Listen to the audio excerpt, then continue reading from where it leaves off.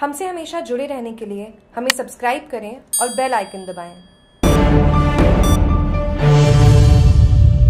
संगठन की सुस्ती पर अशोक गहलोत ने उठाए सवाल। कहा, जीत में सभी भागीदार हार में कोई नहीं। जयपुर मुख्यमंत्री अशोक गहलोत का कहना है कि सरकार अच्छा काम कर रही है, लेकिन कांग्रेस संगठन अपनी भूमिका सही तरीके से नहीं निभा पा रही है। कांग्रेस की राज्य स्तरीय कार्यशाला में सीएम गहलोत ने संगठन की कमज़ोरी पर सवाल उठाए। साथ ही इन्हें दुरुस्त करने का भी सुझाव दिया। मुख्यमंत्री के साथ ही पूर्व पीसीसी चीफ और बीसू का उपाध्यक्ष डॉक्टर चंद्रभान ने भी कहा कि पार्टी कमज़ोर है।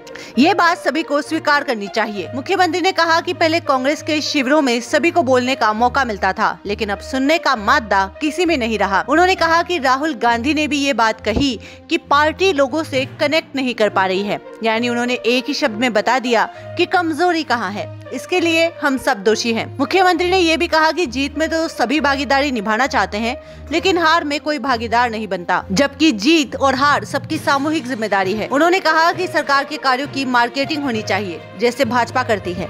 लेकिन कांग्रेस के लोग घर में चुपचाप बैठे रहते हैं, जिससे सरकार की योजनाओं का फ़ायदा चुनाव में नहीं मिल पाता है। सीएम अशोक गहलोत ने अपने संबोधन में कहा कि सरकार पर लोगों की सुनवाई नहीं होने के आरोप लगते हैं, जो कि गलत है। हकीकत ये है कि जिला और ब्लॉक स्तर पर लोगों की सुनवाई नहीं होती, जिससे लोगों को लगता है कि सरकार काम नहीं कर रही। उन्होंने कांग्रेस कार्यकर्ताओं से कहा कि आपको लोगों को काम करवाने के लिए कलेक्टर के पास जाना पड़ेगा। कलेक्टर अगर काम नहीं करता है तो सरकार उसको बदल सकती है, लेकिन कार्यकर्ता लोगों की समस्याओं को लेकर कलेक्टर के पास जाते ही नहीं है। ब्यूरोक्रेसी तो ऐसे ही होती है कि जैसे उनको लगने लगता है कि सरकार जा रही है तो अधिकारी मुँह फेर लेते हैं। मुख्यमंत्री ने ये भी कहा कि ज़िले और ब्लॉक में चार चार गुट बने हुए हैं, इसलिए सुनवाई नहीं होती। सीएम ने कहा कि अगर राजस्थान में दोबारा सरकार बनती है तो कांग्रेस का देश भर में फिर से उदय शुरू हो जाएगा। प्रदेश में बजट अच्छा आया तो चर्चा शुरू हुई। कि 140 सीटें आएगी।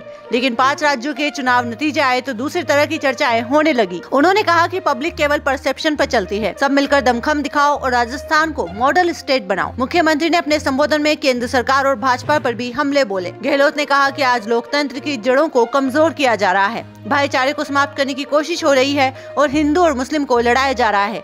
हालात आज के बहुत ही खतरनाक और चिंताजनक है। जागरूक टीवी के लिए जयपुर से खास रिपोर्ट।